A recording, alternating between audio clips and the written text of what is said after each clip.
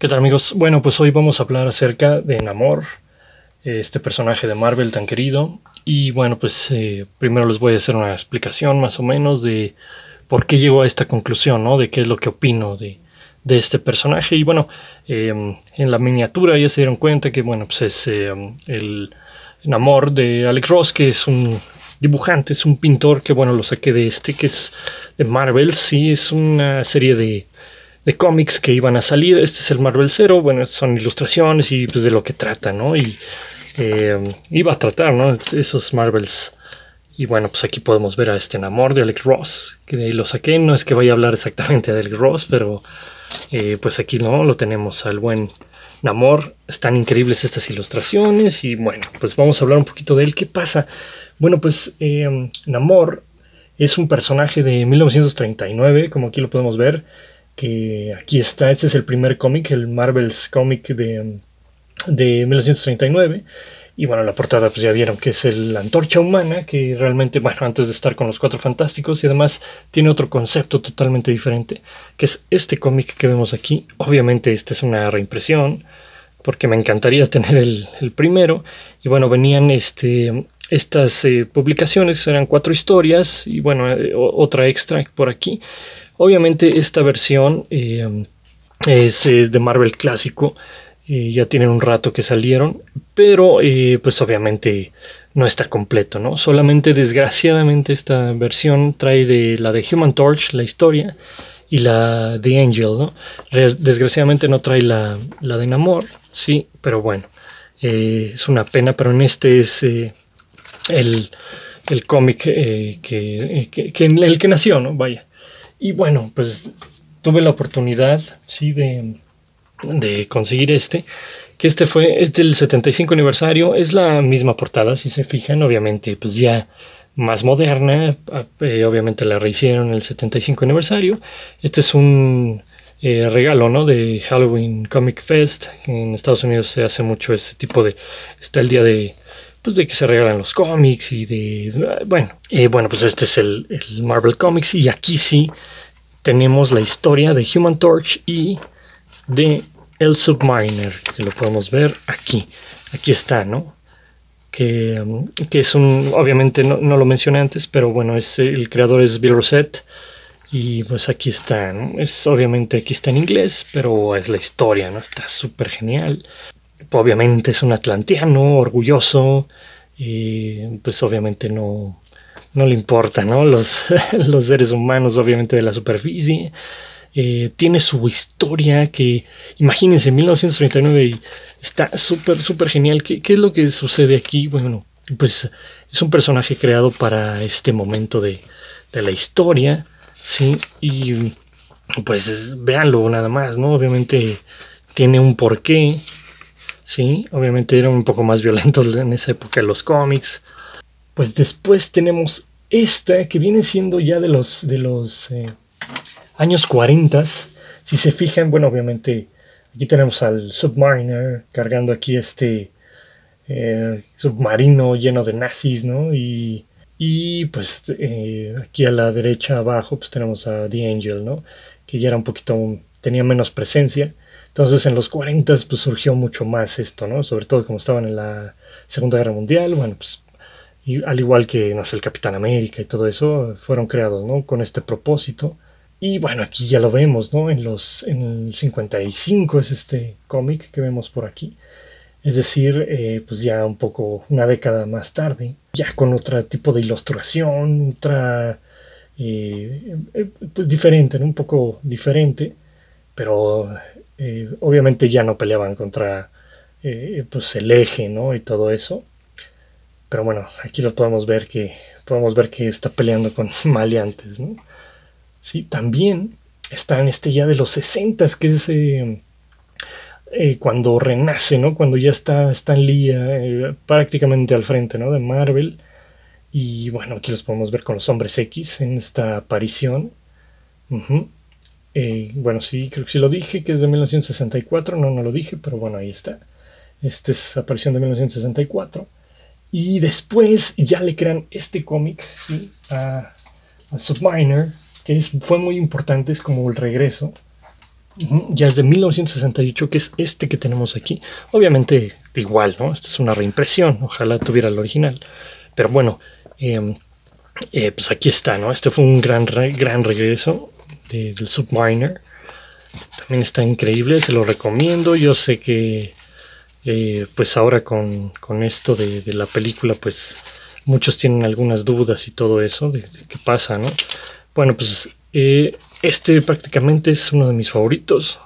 Y bueno, seguimos con esta década que es de los 70s. Aquí podemos ver este es de, del 75 con apariciones de, obviamente, de Namor aquí contra el Capitán América. Ya saben que es como un antihéroe. Eh, tiene sus propias reglas, ¿no? Este Namor. Eh, ya saben, ¿no? Muy orgulloso.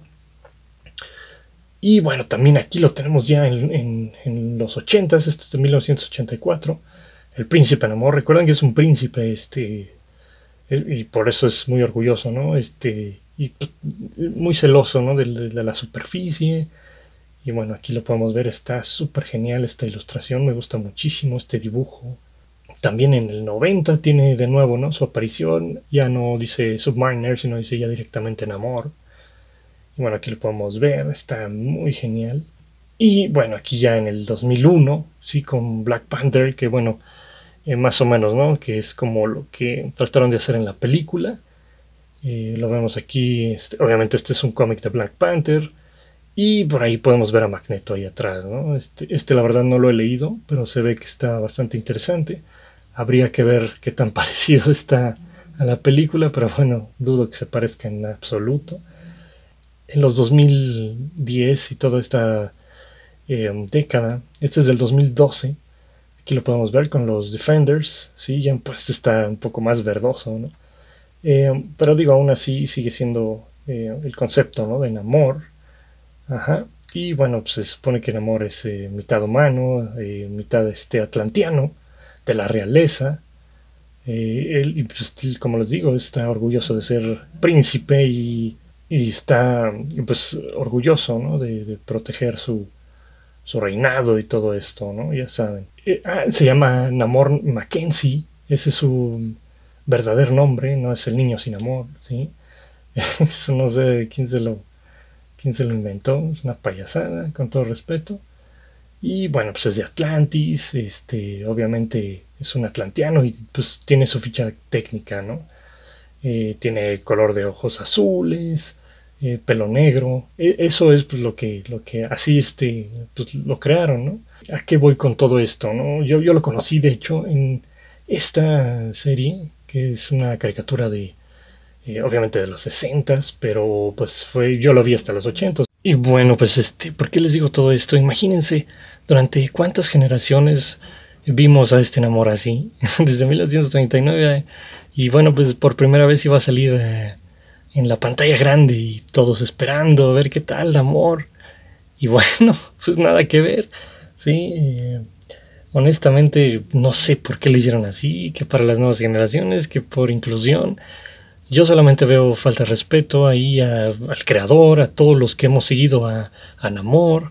Imagínense, cuánto tiempo y luego ver esto, no es porque sea la etnia que sea o lo que ustedes crean, no, no, no, yo soy mexicano y pues la verdad no me gustó verlo así, o sea, eso qué tiene que ver, ¿no? O sea, no, no es un personaje el que yo conocía, el que yo seguí durante tantos años. Y pues al fin pues sale esto, que bueno, aquí vemos la comparación, que vemos el de la derecha, que para mí ese es el, el amor que debería de haber este, sido no encontré, eh, pues, para agradecer los créditos, ¿no? Para dar las gracias, pero no, no, no lo encontré. Eh, pero realmente este, el de la derecha, eh, pues para mí es Namor. El de la izquierda, pues hubiera podido ser otro personaje. y bueno, pues nada que ver, ¿no? Con el Namor que, que yo conozco, que conocimos durante tantos años. Y ese es el enojo, vaya, ¿no? Es la decepción más que nada, porque pues honestamente no, pues no, no, no entiendo cuál, cuál es el propósito de hacer esto, sino eh, si quieren hacer algo inclusivo y eso, pues que hagan otras cosas, ¿no? si ya tiene tantos años este personaje y, de un de repente hacerlo así, pues, por eso no va a tener éxito, claro que no. ¿A quién se le ocurrió? Pues no sé, a alguien que no sabe lo que es Marvel y que no sabe dirigir eh, pues lo que realmente queremos los fans, ¿no? Y bueno, es una tristeza, honestamente, pero bueno, pues esto es lo que eh, pues yo les puedo decir. Por eso es el desencanto, no es el niño sin amor. o sea, todo lo que inventaron, pues por inclusión o lo que ustedes quieran, eh, pues es una decepción, ¿no? De hecho, pues es como si fueran a hacer al santo enmascarado de plata de otra etnia que no sea mexicano, pues claro que va a haber un enojo porque pues ese es el que queríamos ver, ¿no? El que queremos ver. Eh, eh, creo que ya está fuera de contexto todo esto. Ya se está haciendo una guerra aquí como de, de, de, no sé, de, etnias o qué, no sé por qué hacerlo así. En los ochentas, en los noventas, yo no crecí así, yo, yo crecí viendo el príncipe del rap, ¿no? O sea, ya en mi adolescencia y todo, y era genial, nadie decía nada de eso. ahora siento que hay como una competencia entre divisiones y eso, y eso está mal. Dejen de hacer esas tonterías, por favor. Es una decepción para este universo. Sí, si corresponde Black Panther, tiene que ser de esa etnia, que la hagan de esa etnia. Sí, sí, tienen que ser los cuatro fantásticos, como deben de ser. Su Storm, eh, todo Reed Richards, los hermanos que son eh, Sue y Johnny. Bueno, caray, pues, ¿qué les puedo decir? Eso es lo que, lo que quiero decir y pues por eso ya no veo las películas de Marvel. Y esa es mi opinión. Gracias por ver esto, ya saben, si les está gustando los videos, suscríbanse, denle like y nos vemos pronto.